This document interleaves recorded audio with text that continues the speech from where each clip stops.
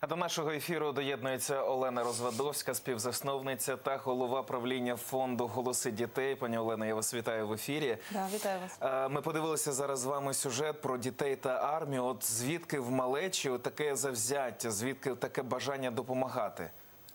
Ну, правда, надихаючий сюжет. І ну, звідки? Діти точно так же підростають в цих самих умовах і в тому ж самому інформаційному потоці, в якому живемо і ми. Ілюзія про те, що вони собі там граються, а ми е, там воюємо. е, ну, це абсолютна ілюзія. Вони ж точно так все чують і бачать. І більше того, я думаю, що це дуже правильно, тому що це один зі способів споритися зі стресом і тривогою, коли війна, вона велика, це те, чого ти не контролюєш, коли ти. Береш і робиш просту дію. Ось ти намалював ляльку, ось ти намалював малюнок, ось ти зібрав клас, зібрав однокласників і провів акцію.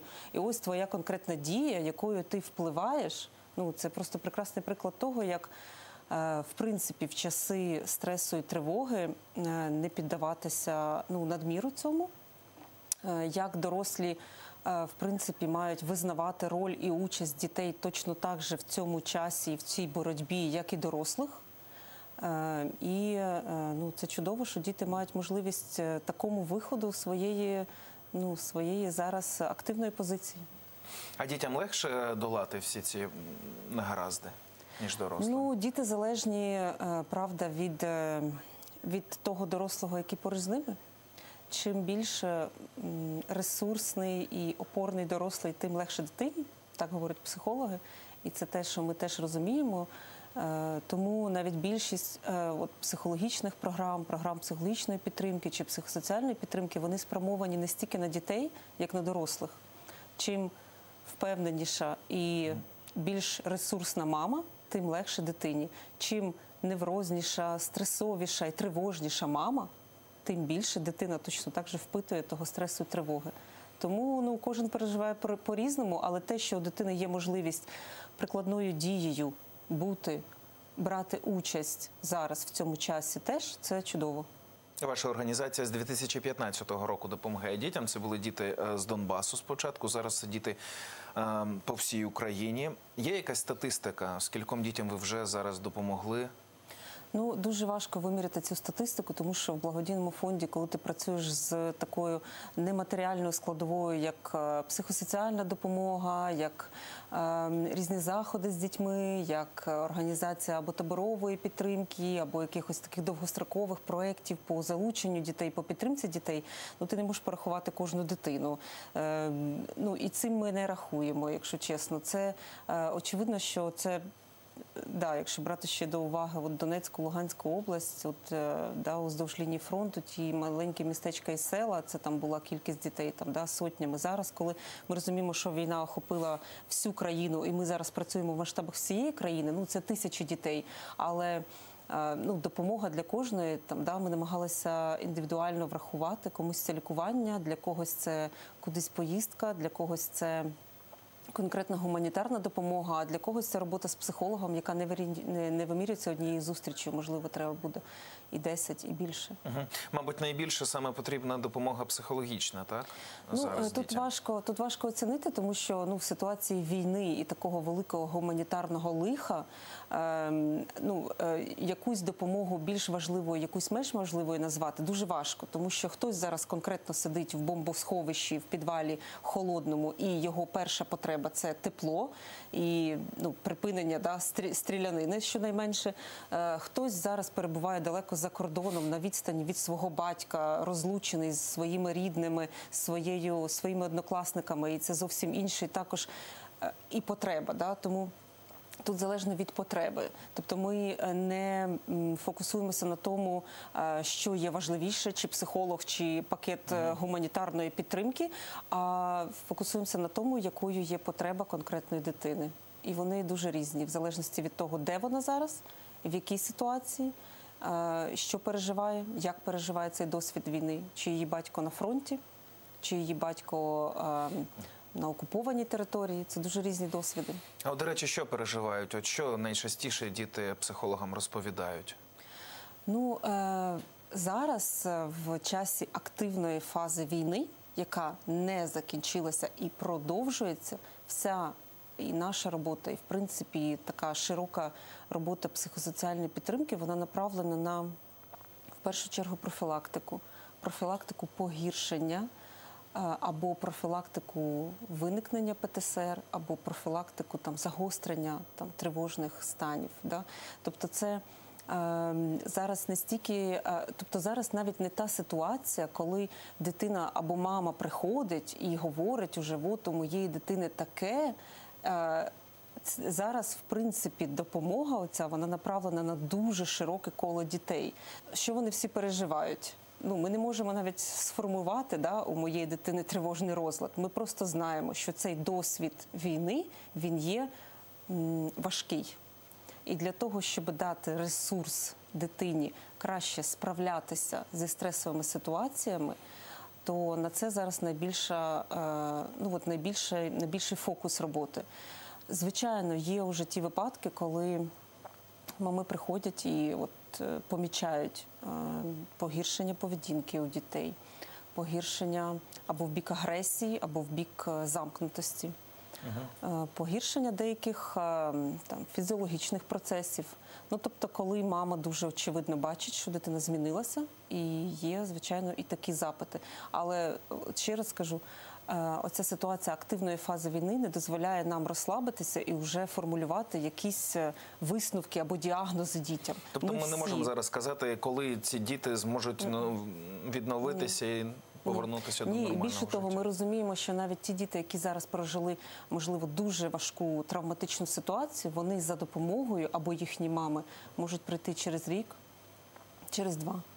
Тому що так е, працює психіка. Е, Від деяких ситуацій ми закриваємося, заброньовуємо їх там всередині себе, не хочемо з ними працювати, бо не маємо ще навіть емоційного ресурсу для того, щоб працювати.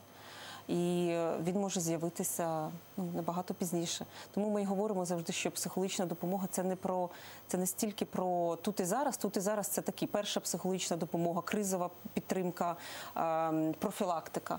А робота з травмою вона може початися і через 5 років, і через 10. Або у дорослому житті, так це Або у може дорослому просто житті.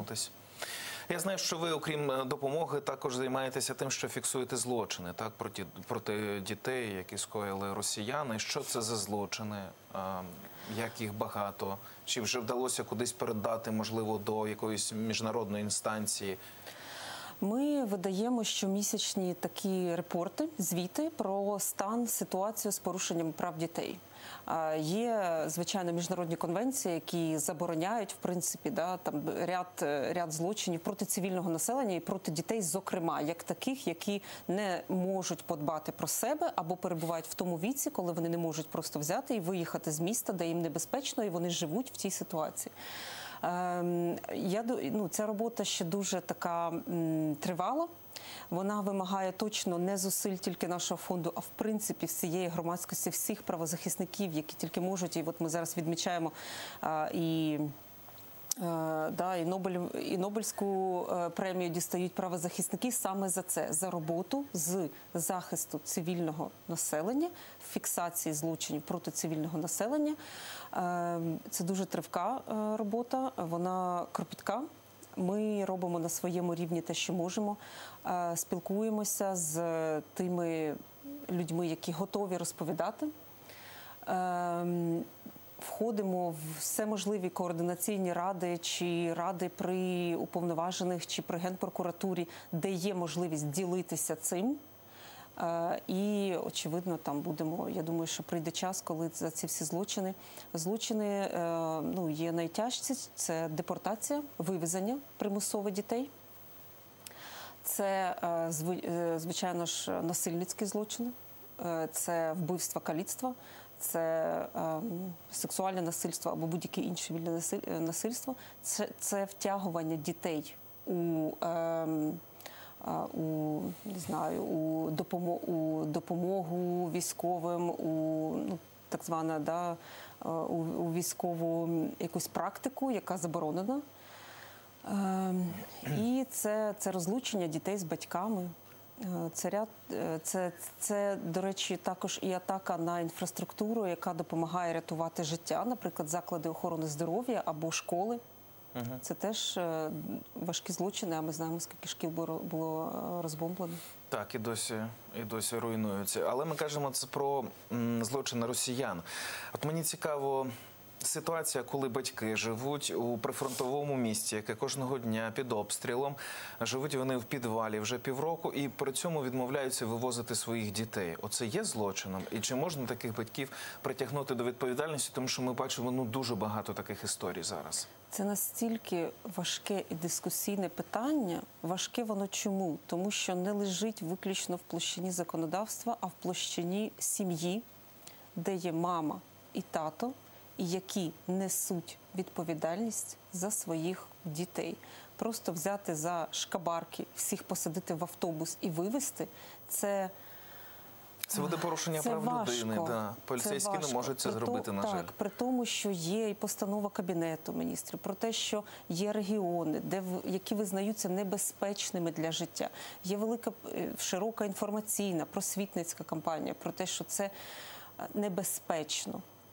Але все врешті впирається в конкретну хату, в конкретну маму з татом і в конкретних дітей, які хочуть виїжджати, але батьки не бажають, і діти не можуть собі просто зібрати чемодани і поїхати. На жаль, ситуація доходить до жахливого, коли це вже такі села, такі локації, куди добратися і волонтерам самим дуже складно.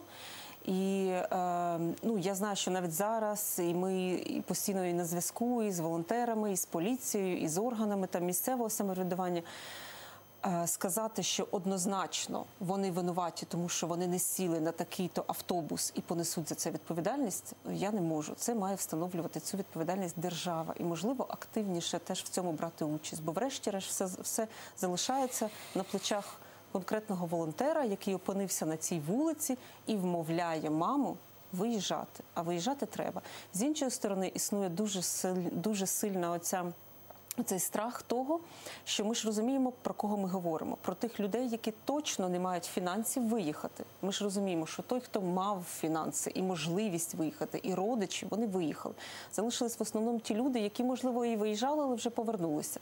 Тому що ти живеш на підлозі там, да, в якомусь закладі і е, не знаєш, як жити далі, і в тебе немає компетенції для того, щоб раз і знайти собі роботу Та в хіба краще місці. на підлозі у підвалі? Так, але в таких моментах, коли ти вже прожив пів війни під обстрілами, психіка настільки е, звикає, на жаль, до цього, що е, уже потім е, ця логіка чуть-чуть вимикається, що це небезпечно. І ну там працюють уже трошки інші механізми. А страждають від усього діти, на жаль, які не можуть ну, Страждають. вчинити щось самостійно. Страждають. Дуже багато історій за цей час е, через вас пройшло. Можливо, є якась, яка найбільше зачепила. Всі історії дуже важкі. Тільки вчора мені е, наша колега Алла е, повідомила, що там у однієї нашої знайомої дівчинки, з якою ми контактували давно, і в Світлодарську з нею е, працю... ну, да, знайомі були, і вона завжди приходила на наші заняття. І жила в Світлодарську, який зараз окупований.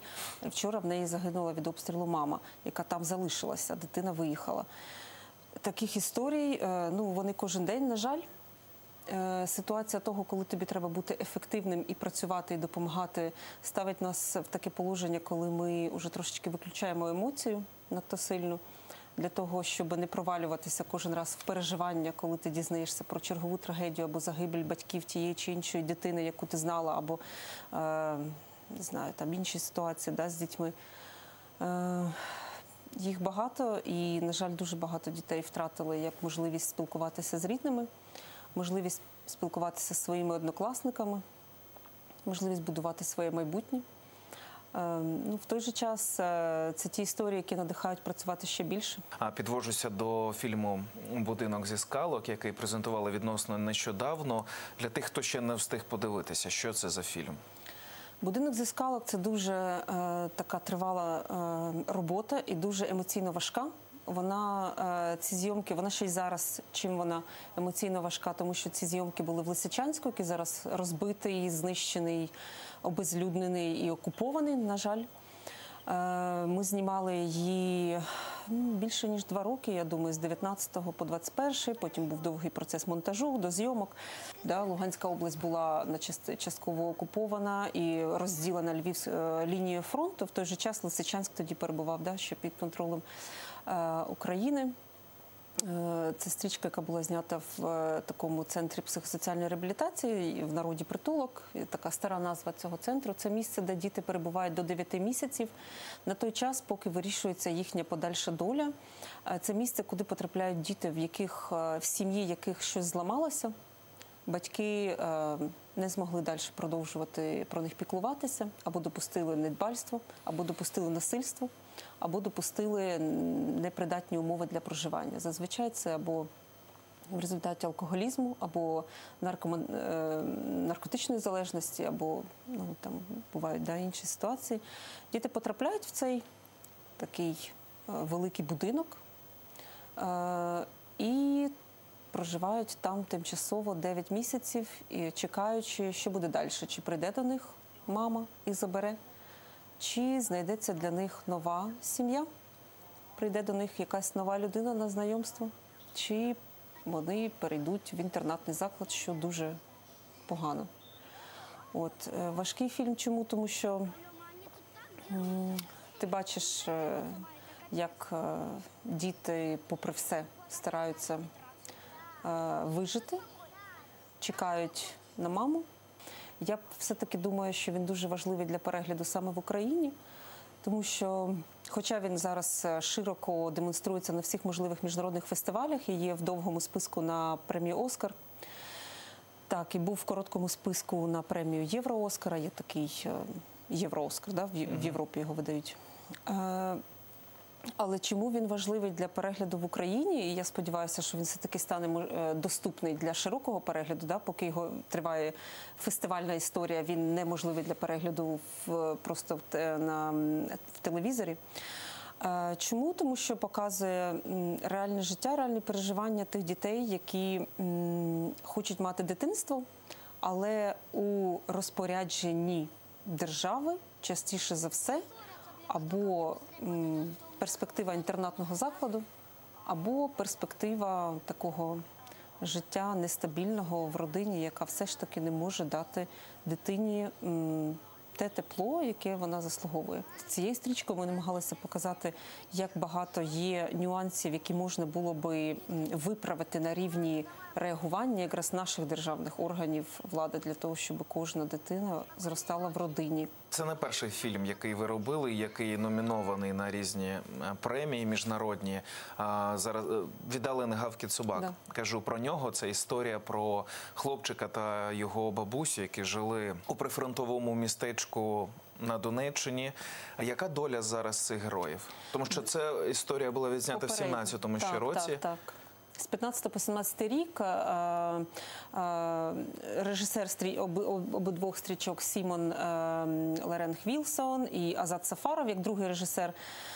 Це була їхня стрічка ще з 15 по 17 рік. Да, вони її знімали. Віддалений гавкіт собак. Родина з Маріуполя. Слава Богу, у них зараз все добре. Вони на Київщині і вибралися з Маріуполя живими і здоровими. Тобто вони знову потрапили в окупацію, знову Вони пережили. були, вони пережили в Маріуполі ще й дуже страшні. Оці всі вся весна з всім знищенням Маріуполя. Вони були там. Вони не встигли виїхати до е, останнім поїздом через там певну просто накладку по часу. Е, і вже мали виїжджати на наступний день, і на наступний день вже було е, повністю заблоковане все сполучення е, поїздом. І, на жаль, вони прожили весь цей час там, але слава Богу, вони вибралися живими і здоровими. Всі. І зараз проживають на Тобто можна зараз знімати продовження про те, що вони пережили другу частину фільму. Можна, можна, да, можна багато. І от е, повертаючись до історії, є дуже багато історій для фільмування. Але зараз ми сконцентровані на що? На те, щоб в принципі більше дітей і сімей вижили і пережили цю війну. Чому ці стрічки отак відгукуються в Європі? Це ж ну взагалі історія далека від них. Чому е, такий попит є? Чому номінують на премії так багато? Ну, я думаю, в першу чергу теж е, не без того, що вони професійно якісно зняті. Але що мені точно сподобалось ще в підході режисерської всієї команди і команди і продюсерської, це етика по відношенню до сімей і дітей, які ставали героями цих фільмів. Це дуже важливо. Людина в кадрі має зберегти свою гідність, а режисер має зберігати і вся команда має зберігати повагу до цієї гідності. У нас були недопустимі ситуації чи історії, коли саме процес зйомок міг травмувати дитину, витягувати з неї кишки, смакувати подробиці, які дитині важко можливо розповідати. І е, ну, такого не допускав собі ніхто, і це теж важливо. Е, закордонна публіка вона дуже дуже ці речі розрізняє. Коли є фальш, коли є спеціальний надрив, коли є надмірна драматизація і так того, що і так уже важко і боляче. І я думаю, вони е, ну, дуже фільтрують цю, цю ситуацію. І це е, ці документальні стрічки вони про, про людей в кадрі, не про художній не знаю, там вимисел чи, чи драму, чи надмірну, е, надмірну драматизацію. Е, Вони про е, людей, які довіряють е, камері. Е, Навіть цей останній е, фільм Будинок зі скалок. Багато відгуків було саме про те, як вам вдалося розкрити так дітей, що вони майже не помічають камери.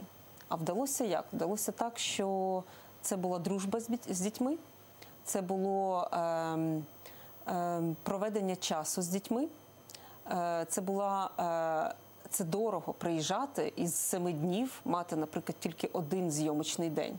Але це важливо для того, щоб за ці сім днів дитина звикла і вона довіряла тобі і не боялась довірити їй найсокровеннішу емоцію. І я думаю, що успіх ще й в тому, що ми не, не поспішали, не ставились до дітей як до героїв, з яких треба витиснути все, потім поїхати і забути, а як, для, а як до друзів, до людей з гідністю, які діляться зараз з нами чимось дуже особистим.